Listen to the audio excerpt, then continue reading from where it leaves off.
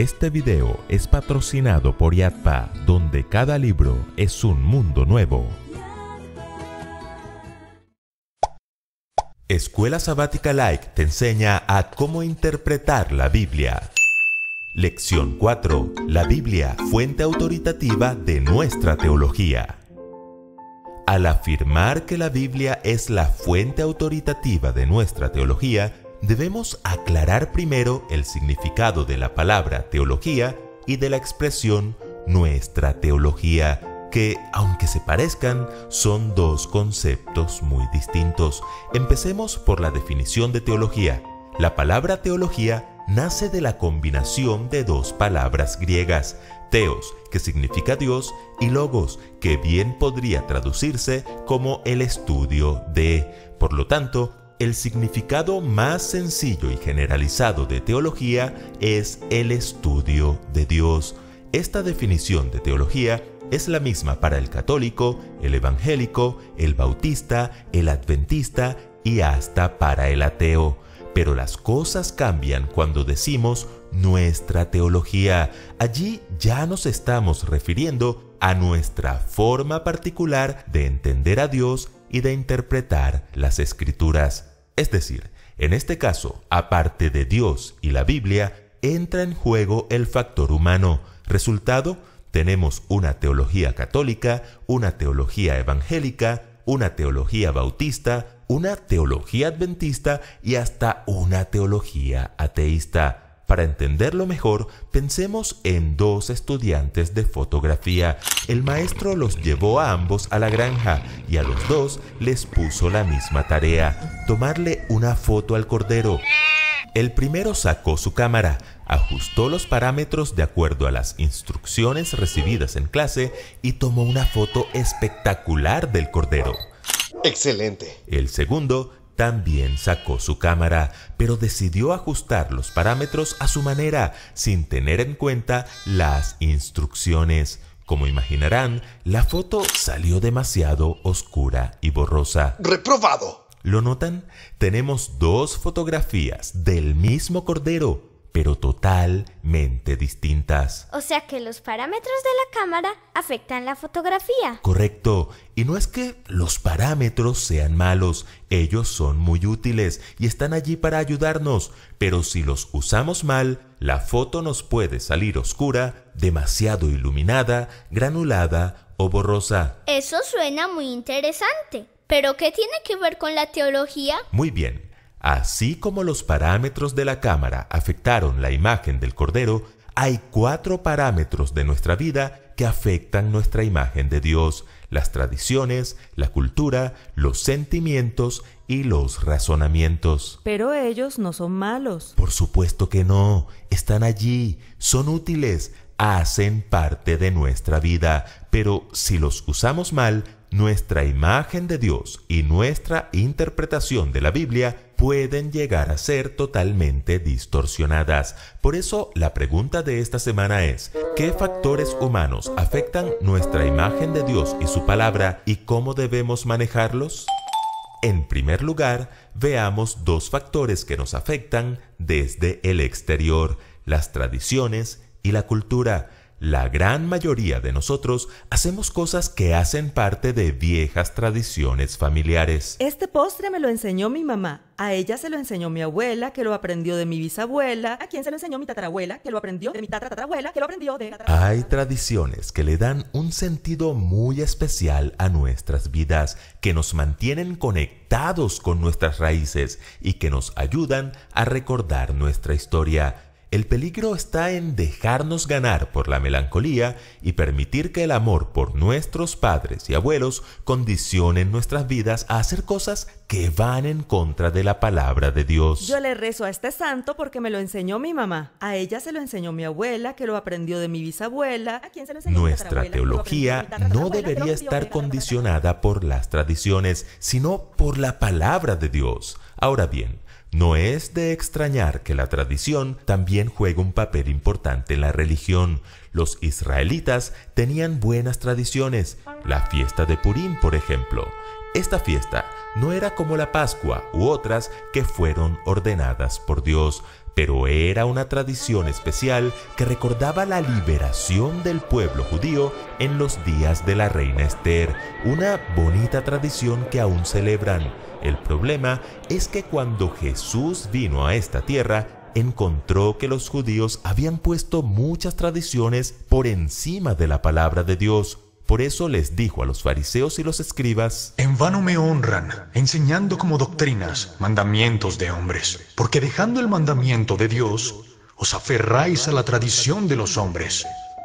Es bueno hacer un alto en el camino y preguntarnos si nuestra teología está fundamentada en los mandamientos de Dios o en las tradiciones de los hombres. Las tradiciones tienen su lugar, pero jamás deben ocupar el lugar de la palabra de Dios. Algo parecido ocurre con la cultura. Nadie escapa de ella. Vivimos en países que tienen sus costumbres, sus refranes, sus maneras de vestir o de comer, y la mayoría de nosotros nos sentimos muy orgullosos de eso. Pero para nadie es un secreto que en nuestras diferentes culturas hay elementos que se oponen a los principios de la Biblia, y eso afecta de un modo u otro nuestra vida y nuestra fe. Volviendo a la analogía de la cámara, la tradición y la cultura son dos parámetros que no podemos evitar. Están ahí con un propósito, pero hay que ajustarlos correctamente. De lo contrario, nuestra teología puede resultar distorsionada. En segundo lugar, veamos dos factores que nos afectan desde el interior, nuestros sentimientos y razonamientos.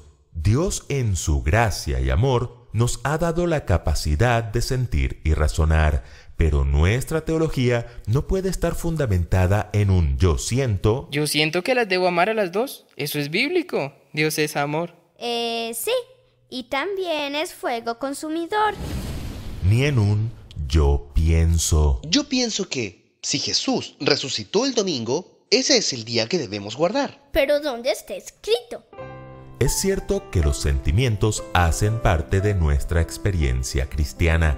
De hecho, el salmista David se emocionaba con la palabra de Dios. Por herencia eterna he tomado tus testimonios, decía, porque son el gozo de mi corazón. Dios desea que experimentemos la belleza de las relaciones, del arte, la música y las maravillas de la creación, así como el gozo de su salvación y el poder de su palabra. Pero no todo lo que experimentamos o sentimos proviene de Dios, por eso es peligroso basar nuestra fe en los sentimientos.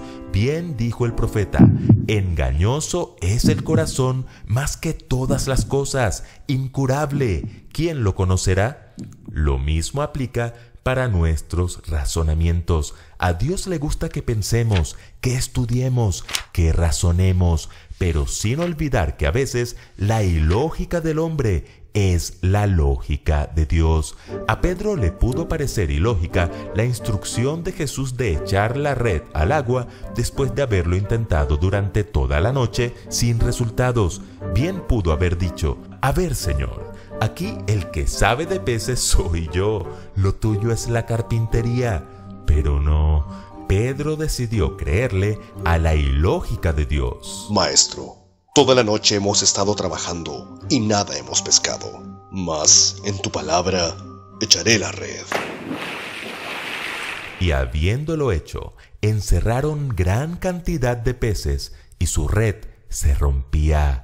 Si Dios dice sábado, es sábado. Si Dios dice varón y hembra los creó, es varón y hembra.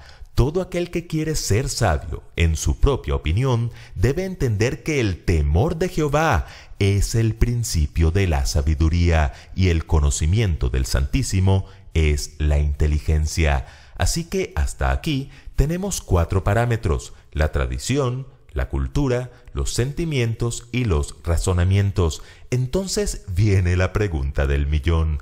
¿Cómo ajustar esos parámetros para sacar la foto correcta? Así que en tercer lugar veamos el libro de texto. Antes de llevar a sus alumnos a la granja, el maestro los instruyó y les dio el libro de texto. El primero leyó cuidadosamente el libro y ajustó los parámetros de la cámara siguiendo las instrucciones al pie de la letra. El segundo leyó y aceptó solo lo que quiso y a la hora de la verdad, eso marcó la diferencia. Si queremos tener una fotografía nítida de Dios en nuestros corazones, debemos ajustar nuestros parámetros al libro de texto, la Biblia, la fuente autoritativa de nuestra teología. La tía Elena así lo confirma. Es por medio del Espíritu de verdad obrando a través de la palabra de Dios como Cristo subyuga a sí mismo a su pueblo escogido. Y si piensas que cualquier teología conduce al reino de los cielos, deberías pensar seriamente lo que Jesús advirtió. No todo el que me dice Señor, Señor, entrará en el reino de los cielos, sino el que hace la voluntad de mi Padre que está en los cielos. Muchos me dirán en aquel día, Señor, Señor, ¿no profetizamos en tu nombre?